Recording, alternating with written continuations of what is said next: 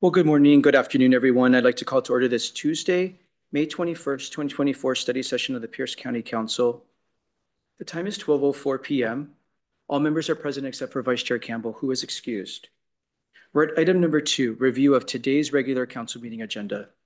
Ms. Long, good afternoon. Thank you and good afternoon. This is this afternoon's regular council meeting agenda. It is amended. We did review the consent agenda yesterday, but I'll just note that the five grants that were discussed have been added. So you'll see all of those there on your consent agenda. So I'll move to section seven. Uh, there is one proclamation this afternoon, and that's proclaiming Monday, May 27th as Memorial Day in Pierce County. And that was requested by Councilmember Herrera.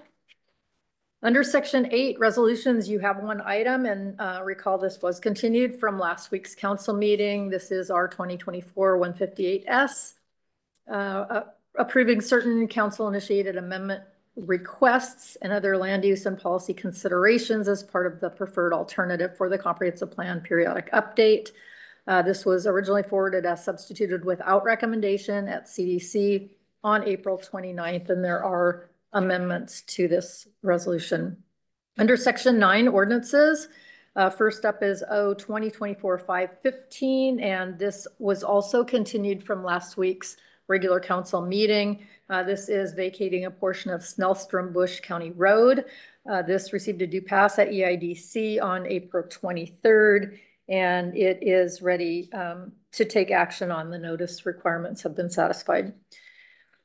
Uh, number two and three are both um, granting non-exclusive franchises to the city of Orting. Uh, the first, O 2024-519, is for the location of sewer lines, and the uh, second one, O 2024-520, is for the location of water lines, and both of these received due pass recommendations at EIDC on May 14th. And those are your agenda items for this afternoon's meeting. Thank you, Ms. Long. Questions before we rebrief on amendments to the comprehensive plan environmental impact statement preferred alternative?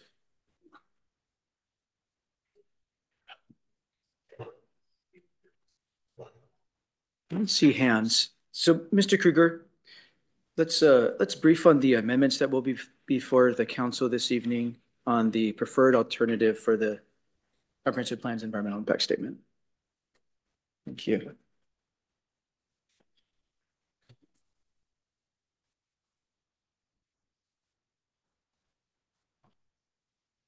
Thank you, Mr. Chair, Mike Kruger, council staff. I wanted to hand this out for the benefit of the members today to um, to see how the sequence of amendments has been have been restructured following study session yesterday. So what you'll see here are amendments that do not uh, follow a numerical sequence. Um, they're not in order. And the reason for that is that the, several of the amendments have been grouped into kind of categories. There's also amendments that uh, were prepared for council on May 14th that were pulled by the sponsors. And so those are just gone. They, they don't show up anywhere now. They won't be in your packets. Um, so starting with number one, uh, amendment number one is uh, kind of a technical amendment. It concerns the transmittal of the proposal to council. It's uh, specifically requesting that the comprehensive plan and the capital facilities plan be provided to council no later than October 1st, and that the rest of the implementing documents, including community plan updates, uh, are transmitted to council by October 15th. So that's amendment number one. Amendment number two is an amendment concerning short-term rental housing. And what this amendment would do is it would review the policy considerations that were um, amended into the proposal at Community Development and Environment Committee. So there were a number of items that were included to provide additional detail uh, related to ADUs and the length of time that a short-term rental could be occupied and some things along those lines. Those have all been removed and the amendment uh, reverts back to the proposal that came up from the department um, and the executive um, concerning a, uh, a, staff recommendation. Uh, kind of high level policies are included um, that talk about short-term rentals, but all the specificity would have will be removed based upon amendment number two. Amendment number three would uh, ask that the rural bonus densities be removed from the Key Peninsula and Gig Harbor Peninsula Community Plan areas only. Amendment number four would eliminate the um, provision in the zoning code that allows for mini storage in the employment center designations, both within centers and corridors and within the Frederickson industrial area. So then we skip a number um, and we go to amendment number six, which would request that cap, the parks capital uh, improvement investments be aligned with the areas where the funds are collected. The next amendment will be number 11, and this concerns agricultural tourism, and it's adding some language that references support for farmers. The next amendment is number 12, and it requests that um, the standards for critical areas within shoreline jurisdictions be the same as the upland areas. And the kind of substantive part of that amendment, which that's not showing up in your in your table there, is the uh, the words greater than potentially greater than are eliminated. So right now, what's embedded in the um, in the in the proposal before you, it says that the critical area regulations within shorelines shall be equal or greater within shorelines than the upland area. And this amendment, as I mentioned, would just say they're the same. Amendment number seven is the very popular 128th Street connection between SR 162 and South Hill. It's a study, and there's a map that's included as part of that amendment that shows the, the location for this potential road. The next two amendments concern Canyon Road. The first amendment um, plays off an amendment that was adopted at committee that indicates that the uh, Canyon Road Northerly extension will be phased, starting with Milroy Bridge this amendment goes a little bit further than the amendment that was adopted at committee and indicates that the budgeted uh, right-of-way will stay within the six-year CFP. And so um, the department could proceed with acquiring the final right-of-way that has been uh, identified as part of the CFP. The next amendment is, is numbered 15, and that would indicate that the Canyon Road project should be completed in its entirety. When we get to these two amendments this afternoon, I will um, indicate that there are two amendments that concern the same subject matter. And so the council will need to introduce um, amendment number eight. And then if uh, Councilmember Herrera would like to have the uh, amendment number eight modified to satisfy your policy objective that the entire uh, northerly extension be contained within this study, um, you'll need to ask for an amendment to the amendment at that time. And Susan will be helping us navigate that if, if I get confused. Okay. And then the next three amendments also concern the same subject matter with slightly different um, perspectives related to uh, programs and incentives to reduce um, the loss of, of, of working lands and to sequester carbon. Um, so the First Amendment kind of is uh, the Mello amendment that includes a reference to 100,000 acres. That's the goal, and it promotes all these conservation uh, concepts for study. Amendment number 13 was sponsored by Councilwoman Cruver, and that would eliminate the reference to the specific 100,000 acre goal. So all the differences between um, the Mello Amendment and the Cruver Amendment is just the deletion in the Cruver Amendment of the reference to that to that amount. Everything else is exactly the same in the two amendments. And then the last amendment that you will be considering would be um, Councilmember Morell's amendment related to the same item. And he would ask that the um, there's some additional language be included related to that 100,000 acres that would indicate that it's up to 100,000 acres that would be considered for conservation. So I, again, nothing has changed really here substantively from yesterday. Um, other than we do now have dates that have been discussed with the department related to the transmittal that are acceptable. So that's that's a change and, and some um, clarity on that item. But I really wanted to understand that these things are not going to be changing in terms of the numbers, the, the number related to each amendment. Kind of the reason for that was um, you know, we, we've been, we've, we've had these amendments out live on our website for a couple of weeks. They were handed out at the council meeting last week. The public is familiar with these particular items based upon the numbering that was used previously. We're, we're getting emails that say, you know, please don't adopt uh, amendment number seven or whatever it happens to be. And so just to try to retain some consistency there, we're sticking with those, those numbers. And I'm happy to take any questions, Chair. Thank you, Mr. Kruger. Thank you for the table. It's um really helpful to see the summary and thank you for grouping them by topic. It'll help us follow the conversation and I think certainly help the public follow the conversation uh, a lot easier.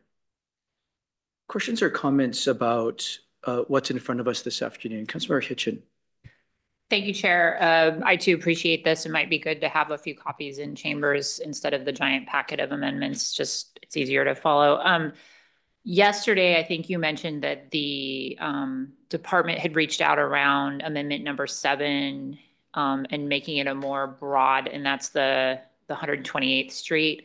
Um, in this process, we, we are identifying a specific street, so are they then precluded from looking at other possibilities by saying we're just looking at the hundred and twenty-eighth corridor? No. Because no, we're they're not, this isn't the policy, this is just go look at it and learn, right? This is indicating that the council has a policy preference and you want to ensure that this particular alignment be analyzed as part of the EIS. Okay, But it does not limit the department's ability to look at other options.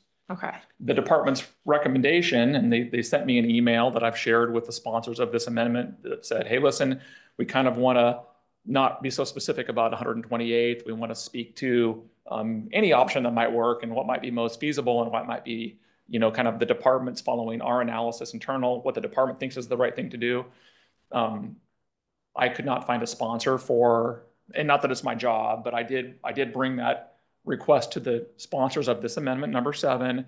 Um, the sponsors all said, I want to run my amendment, and the department's aware of that. And no one else has asked me to run what they've suggested, so there is nothing here today, Okay. at this point at least, related to that request. okay. And then my second question about the amendments that were pulled. Um, I would just look at last week's packet to refresh my memory. They were pulled, they, they, they did not end up in the electronic packet for last week either. Okay, So there's just missing numbers from last week. But that just kind of adds to the confusion, and so I just wanted to note that you're, you don't see, I don't know, you don't see a ten here, right? Yep. There, there's several that are just missing because prior to the council meeting last week, members were asking to have them pulled out of the packet for council's consideration. okay. It might be good to level set with public when we introduce this tonight, just because it's normally it's not as complicated to, to do this. So thank you for all your work on this and to the team that's was supporting. Thank you, Chair. Thank you. Other questions or comments about the amendments that are in front of us? Councilmember Morell. Thank you, Mr. Chair. Uh, this, I guess, is a technical question pertaining to the order of which the amendments come before us. Um, in all the other amendments, uh, the lower number seems to take precedence in the order, but when it comes to 16, 13, and 5, it seems like I would assume 16 will be read first, and then everything else will have to be an amendment to the amendment. Whereas, if I remember right, Council Member Cruver had her amendment in before 16 was Well- put in the system. Actually, your number five was the first, so the way that the staff operates is we, we, we just put numbers on these thing as, on these amendments as they're, as they come to us. At least that's how I've always operated. Right. So the first member to come to me and say, hey, Mike, I'd like you to draft up an amendment related to this item, that's number one, and, and so on. Um, in this case, following the study session yesterday and that discussion, I, I grouped the amendments, um, I guess, uh, in a way that made the best sense to me in terms of navigating the, the meeting. And so in this example, 16, 13, and 5 was based upon the language of each individual amendment, recognizing that we were going to need to amend a previous amendment that was on the table, and this made the most sense. So the Mello Amendment is kind of the the, the, the broadest. It, it, it, it contains the, the most language describing the, the policy intent. Um, the Cruver Amendment then simply would eliminate the reference to the one hundred thousand acres. So, so that's why I showed that being second, because that would be, you know, Councilman Cruver would say, I would like to amend the amendment on the table by removing the reference to one hundred thousand acres. So it's simple, right? Everyone can see what's happening. You vote that up or down. And then I left yours last because you, you had said, well, let's just, let's go up to, and it made more sense to me, at least from a staff's perspective, to think about it that way. If the, if the Cruver amendment were to pass, your amendment's not necessary, was, was my thinking, because now the hundred thousand acres is gone. Hmm. But, you know, I, I guess it's a question for Susan. I mean, I think, I believe that any of these three could be offered up in that moment when we get to the time where sixteen is 16, 13, or five are all basically ready. They're the last amendments that are still standing. So what does the council want to get onto the table first? And the staff can navigate an amendment to any of the amendments related regarding what's on the table. But it- if yours is first, I guess, Councilman Morell, it'll be a little more complicated to re, you know, I think Come Mr. on, it's just two words. no, if yours, if yours passes and there's no amendment to the amendment, we're good. But if yours were to get, if there were to be discussion, it would be more complicated. Thank you. I think you explained the intent of the uh, order well. Um, 16 tries to bring together both thoughts of 13 and 5 and um, the discussion that I've heard. So that that's that is also why the order. I think it's it, tries to be the compromise of the policy uh, intent and direction of the council that I've heard. Councilmember Cruver. Th- Thank you, Chair. I just wanted to say it was my intent to be added on to number seven. That's all. Thank you, Chair. I thought I had, but guess not. We'll get, we'll get you on to seven. Thank you.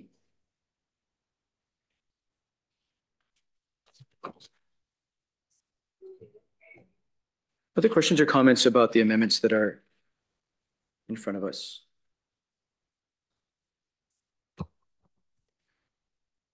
Councilmember Morell. I guess, uh, there again, uh, Ms. Long will have to kind of help navigate some of these, uh, parliamentary issues that, that come up.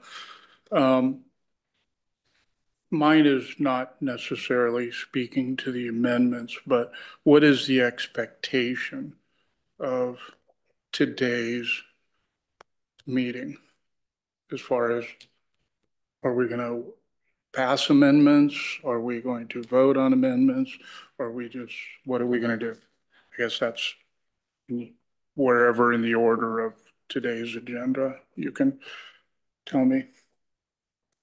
Thank you, Councilman Morell. Um, my intention is for us to consider as many amendments as we think we can consider today.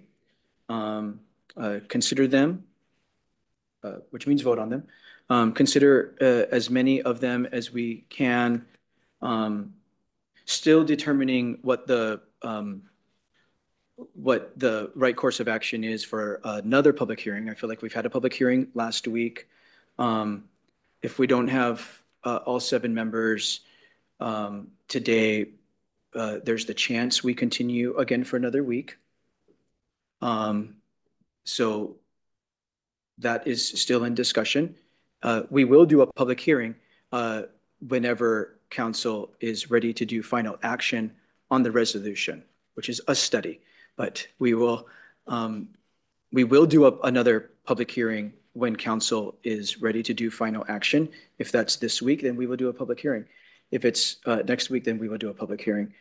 Um, So in short, um, I anticipate us considering as many amendments as, as we can today so that we can dispose of them and we can get closer to um, a final direction on the environmental impact statement direction. Councilor Morell? Does considering mean we're going to vote on amendments? Yes. Okay. Other questions or comments? Mr. Taylor, um, I have a question for you. Um, we have a lot of Um, community feedback, um, on, uh, the Canyon Road, uh, extension project. Um, there's some feedback we're getting. I, I think it's, um, I, I think there's some information from the federal government that hasn't made its way to local governments and, uh, other important stakeholders. Um, there's conversation out there that if we don't do the whole four hundred some odd million dollar project as once conceived in nineteen ninety-two, then we're gonna have to repay whatever federal funds we got uh, to do early phases of the project. For example, we're in the middle of right-of-way acquisition for the project, and we got some federal funds for right-of-way. If we don't do the whole shebang, um, we'll have to re- return those federal funds.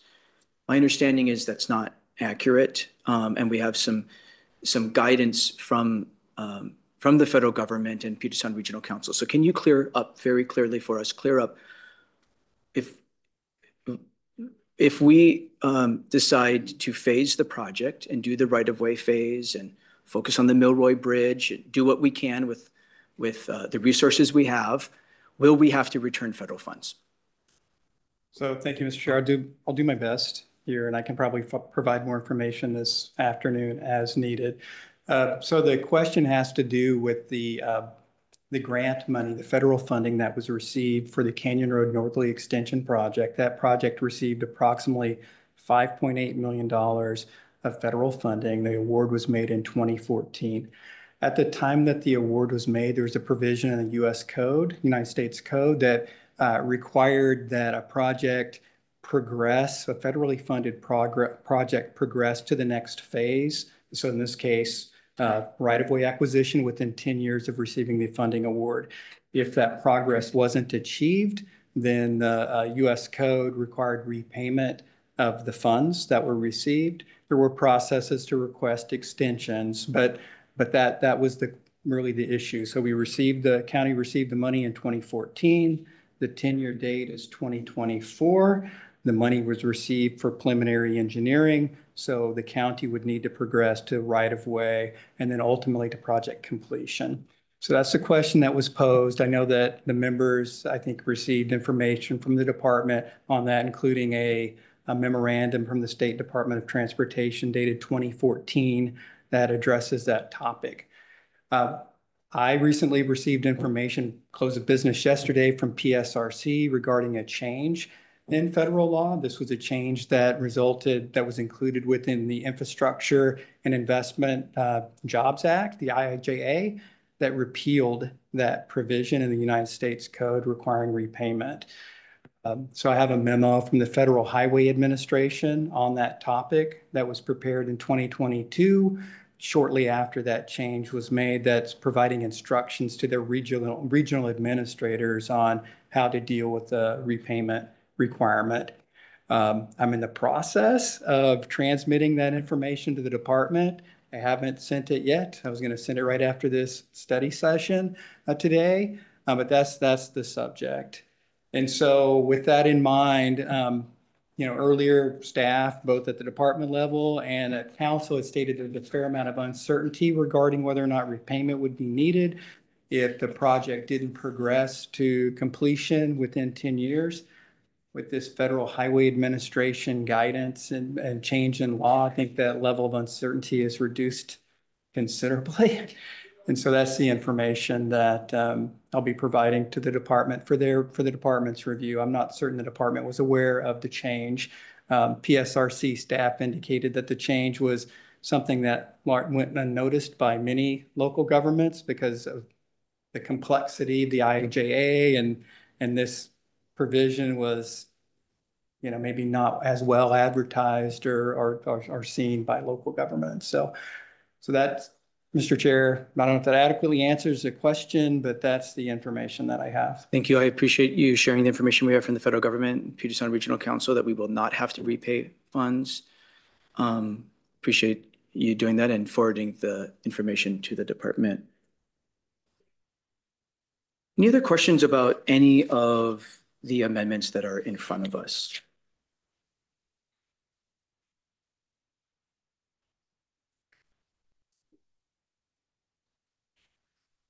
Okay. Councilman Morell. Another, uh, a question directed at, uh, Ms. Long.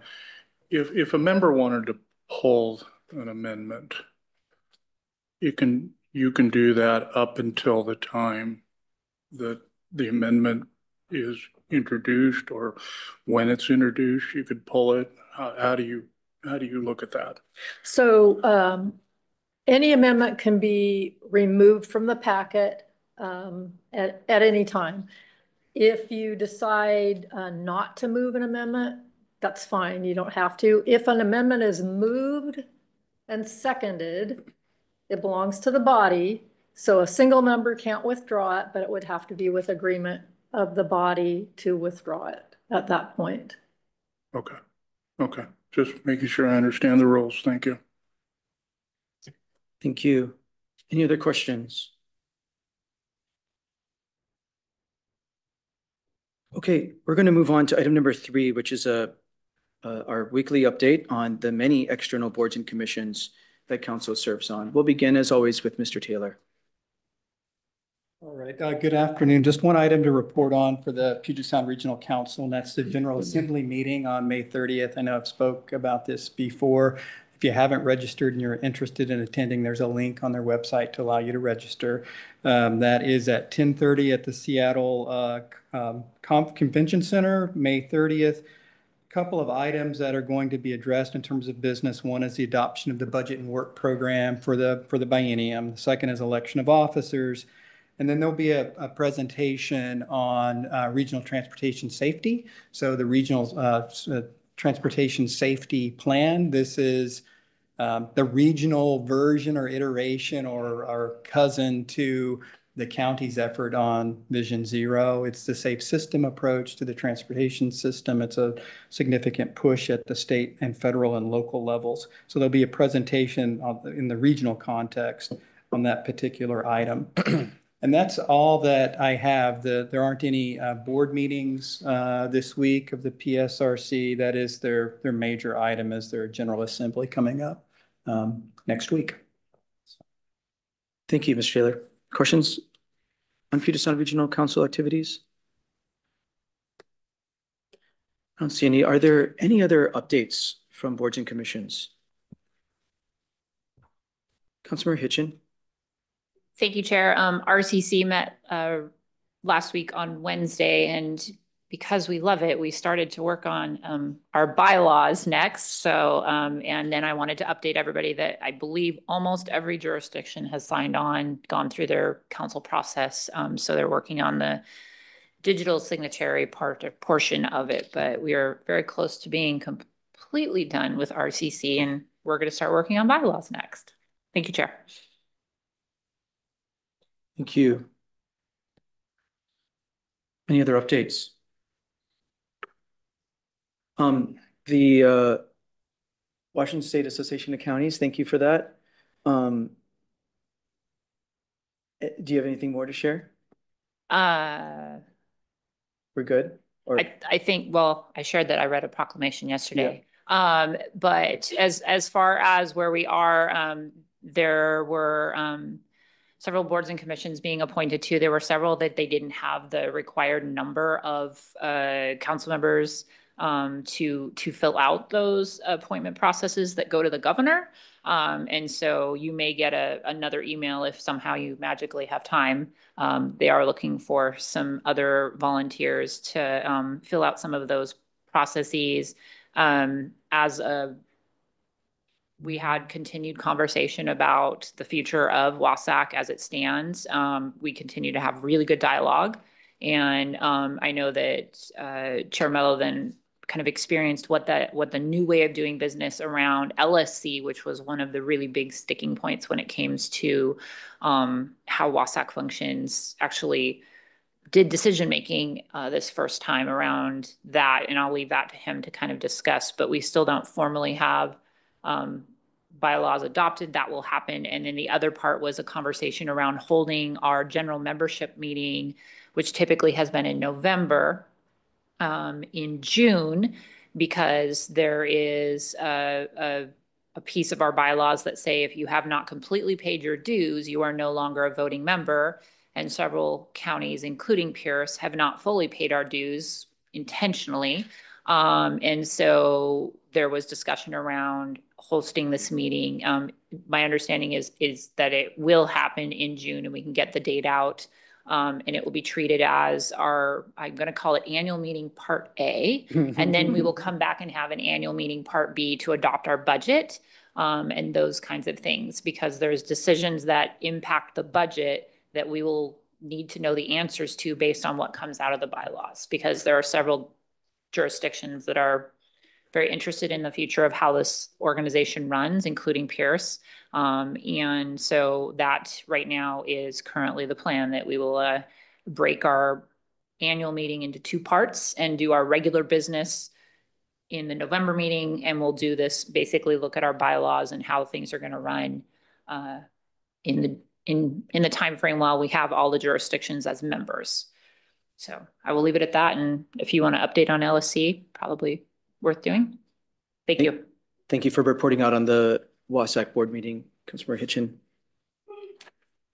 Um, the Legislative Steering Committee did meet, um, the, the next two days, uh, last week, and the Legislative Steering Committee, um, reviewed close to fifty different proposals brought forward by different counties throughout the state, narrowed it down to seven to be priority actions. This does not mean this is all that Wasac is going to work on, but this is what we will lead on and our staff will take priority on. Those tons of things Wasac and its members will respond to, be a part of, but in terms of what it prioritizes and leads, um, it would be these seven topics. The first is um, new and flexible county revenue to deliver core county services like public safety. Number two, funding for indigent defense. Number three, which doesn't really affect us, but affects a lot of smaller counties, is um, funding for rural county coroners. Number four, uh, requiring um, EFSEC um, and energy facility siting count. And Ms. Murray, it's, it's the council that um, sites energy facilities, uh, clean energy facilities. Um, and uh, so, the, the, and, and so I'm sorry for missing my place um, because I could not get the EFSEC uh, acronym correct, but um, uh, Energy Facility Siting Environmental Com Commission? Evaluation. Evaluation Council. Council. The priority is to require EFSEC to comply with state and local development requirements. They, they need a better acronym. Uh, to comply with state and local development requirements and or providing liability and appeal protections for local permitting agencies. Again, more of a Western Washington issue, but also a coastal issue as clean energy facilities are um, trying to be sited in some predictable way in Washington state. Um, there's significant concern in coastal counties, eastern Washington counties, central Washington counties about how siting energy facilities interacts with comprehensive plans um, and local permitting um, inconsistencies. So trying to trying to work that out, how you get some predictability in siting energy facilities and and all the all the interactions there with with local permitting agencies. So that's priority four. The next, so those two, um, funding of rural, for rural county coroners and EFSEC compliance with, uh, local development authority. Um, those are really, th those are not major Pierce County issues directly, um, but they're important to many. The, the last three, um, are quite important to Pierce County in, in addition to the first two I mentioned. So the last three are creating accountability in the behavioral health continuum of services by improving contractual standards for re-procurement. Um, it has to do with our managed care organizations and behavioral health uh, contracts. Priority six is addressing county housing access and affordability. Realize that's a broad topic. And these are just priority statements. The work to come is for the association staff to work in with groups of members who have high interest in these to further flesh out what does the priority mean? What, what are, what exactly are we advancing? So this is just the idea right now on purpose. The seventh priority is funding the preservation and maintenance of the county transportation system. I'll, I'll forward this to all members to make sure they have uh, what was identified as the top seven priorities by for the next two years so that you can have this information. More work to come during the summer and early fall on fleshing out these ideas and coming to agreement on what the actual idea is all about. Does anyone have any questions about that? Any other external boards and commission updates? Okay. Under church topics, I don't have anything additional that we're not going to cover in other business. So we're going to move right into other business. We're going to move right into our communication manager and public information officer update. Mr. Dominique.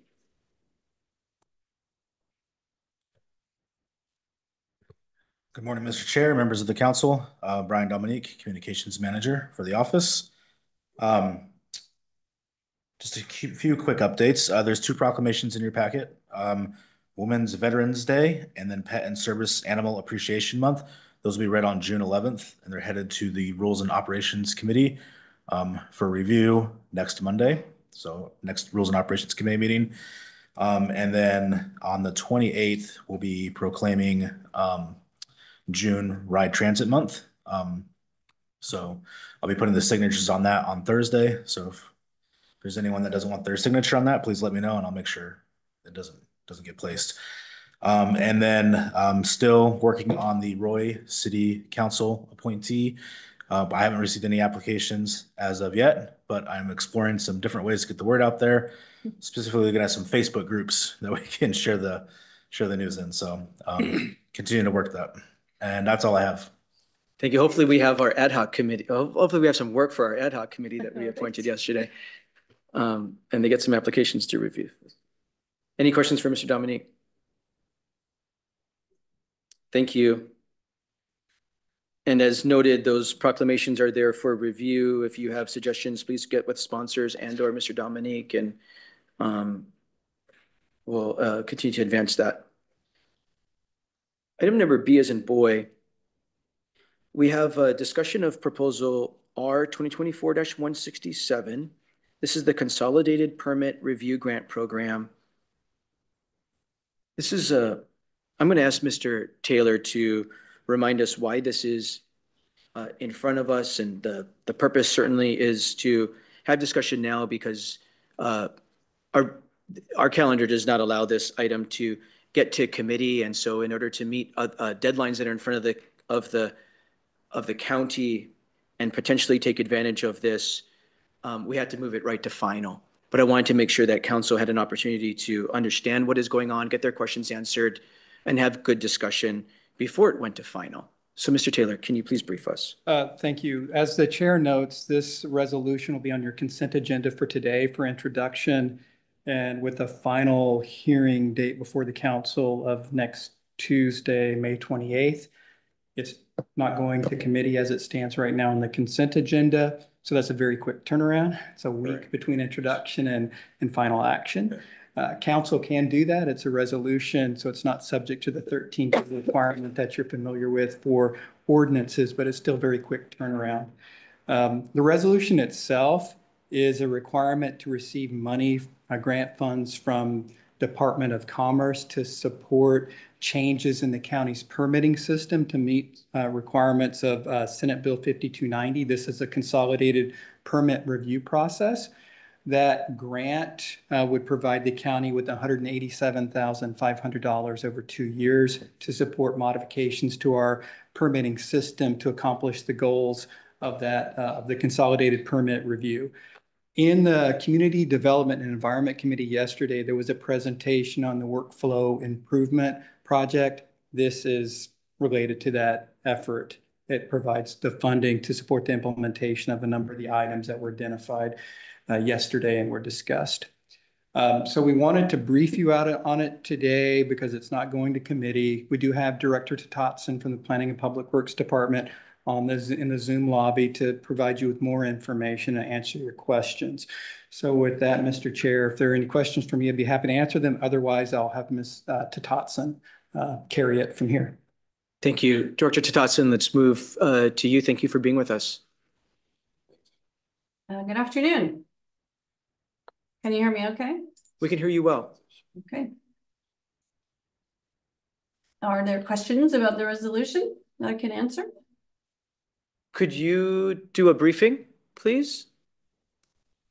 Um, sure, we submitted a Uh, pre, ass- Assume that, so- uh, sorry, uh, let me set it up for you.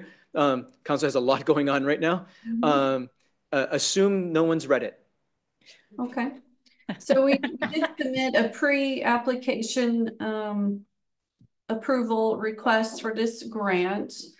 Uh, it is a Department of Commerce state grant, basically an incentive for local governments to, to try and conduct consolidated review for residential building permits only and get to approval within ninety calendar days. So uh, it is a very short turnaround because the commerce guidance only came out uh, at the last minute. Application window closes on May thirty-first. And part of the application, um, we must have a resolution from our legislative body committing to this. So as a department, I'm very comfortable committing to the terms of Commerce's grant, which basically says we will conduct consolidated team reviews of building permits and be able to get to a final decision within ninety calendar days. All of the things that we've already um put in place with our organization and our software that we're doing, we will have no problem meeting that. Also, there is no consequence if we don't meet it. Uh, it's a quarterly payout of the grant from July first to June thirtieth. Each quarter, they would provide us uh, a fourth of the money to cover our expenses to, to put all the new policies and procedures in place. Any uh, software upgrades we need to make are eligible expenses. Any third-party contract review is an eligible expense. So my intent is to uh, take advantage of the funding opportunity to offset some of our costs to do things that we are planning to do. And we'll have to provide Commerce with a quarterly report.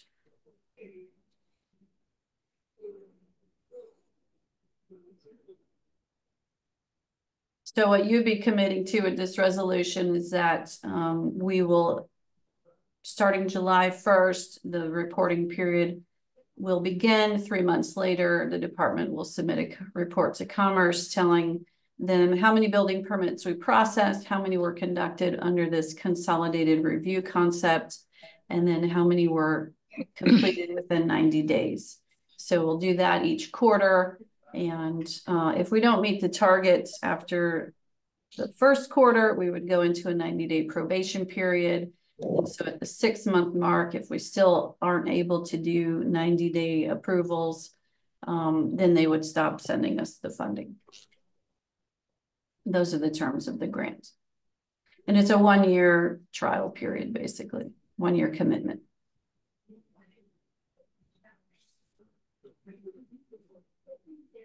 Thank you, Director Tatotson. Questions or comments by council members? Councilmember Cruver. Thank you, Chair. I- Thank you, Director Tatotson. On, I'm wondering on this, is there any kind of a measurement, like, let's say all of a sudden the restrictions are lifted and you get bombarded with, you know, three thousand applications. You can't, you know, versus times might be slow and maybe you're getting a couple hundred for the month or fifty or I, you know, I don't know what kind of number. Is there anything that measures that kind of burden or lack of burden on how you're processing and, setting up the system. Because it, it could be where, you know, heck, you're getting them all done in, in three weeks. But that's because you didn't have anything to really much to process versus getting a bad report because it's taking longer, but that's because you had a bombardment of, of applications. Is there anything that keeps that in check? Well, it's just um the facts, right? We're re- reporting the actual data to Commerce and they would evaluate our progress based on the facts. So the report includes how many applications were received and how many were approved and the number of days that it took us um, to approve each one. If, if we don't meet the ninety day target, like I said, we will then enter a ninety day probation period and we'll try again. And then we'll submit another report. And if after six months, we still can't get to an average of ninety days, then they would stop funding us. It, it just seems difficult where the complexity of the different permits would make a difference in how you can report. I just, I'm kind of concerned with the different parameters on that. And then I'm Well, it- wonder, go This- ahead. Let me just clarify, this is strictly limited to residential building permits only. So that means single and Right. homes.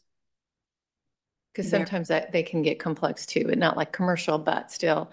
And then I'm wondering, is there a measurement on customer service? I just, what comes to my mind, maybe I'm wrong, is that they, the customer, well, I don't want to say the constituent has to be more prepared with all of the work to, before they can turn it in. And I'm concerned there might be a lack of concern for the constituent being helped. Or you just wouldn't have the capacity to help them because you would be so busy with the others, other mandates. You'd still be able to have like pre-construction meetings, things like that. I just am concerned with how the constituent is going to be um, addressed when there's that kind of pressure. Right, with respect to the commerce grant, uh, they put no restrictions on what we do or don't do. They just require us to report on how fast we process residential building permits. Certainly, it's up to us to balance all the needs of all of our customers. Um, and I think because we have prioritized residential product line in all of our new, um, customer guides and application forms and the online development guide that we're building, it's, it's only gonna help people navigate the process faster. Okay, thank you. Thank you, Chair. Thank you. Councilor Hitchen. Thank you, Chair. Um, Director, I wasn't able to listen to the CDEC meeting yesterday, but I'm kind of assuming this, this grant is helping with the permit improvement program that you kind of outlined yesterday, and is that correct? It will help offset the costs of the work we're doing, yes. Okay. Okay, so work we were already doing, but we're gonna get some support to help pay for some of that work. Okay, thank you. Thank you, Chair. Thank you. Any other questions or comments?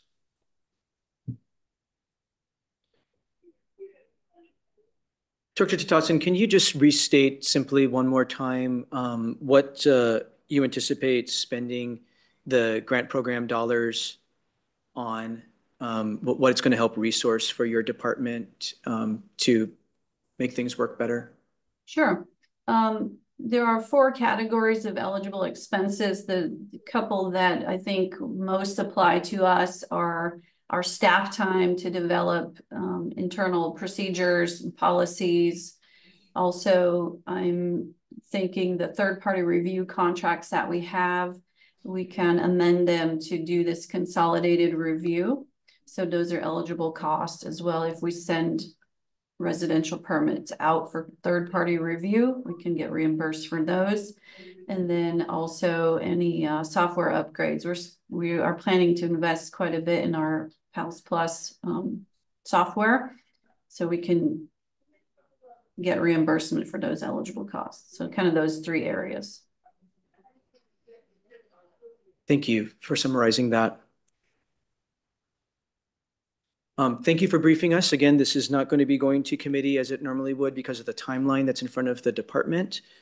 And uh, it will be on our consent agenda for scheduling and up for final action next week. So if you have further questions, please get with Mr. Taylor. He can certainly help facilitate any answers to those questions. Thank you, Director. Thank you. Is there any other business by council members? I don't see any. Uh, Ms. Long, is there any other business for council? Today, thank you. Seeing no other business before the Pierce County Council in Tuesday study session, we are adjourned.